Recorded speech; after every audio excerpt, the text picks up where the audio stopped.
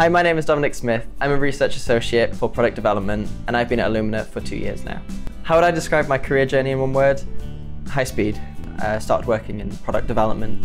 Um, generally, I've been working on the same project since I started. I've been on a few projects, but a main project I've been working on um, and that's been that's been really exciting. I first got interested in DNA sequencing. I, I, did a year in industry at university, and I worked for a genetics company, and I, I saw Illumina all over the place. Um, so I was kind of interested in getting involved in next generation sequencing, and really I kind of wanted to work for the leader of NGS at the time, and um, it's been you know it's been really rewarding to to see at the front line how, how the technology is progressing.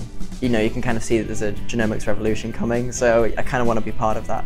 I help to um, develop the reagents, test their robustness, and I'm also involved in writing the recipes for our instruments and making sure that everything's running smoothly for the next product.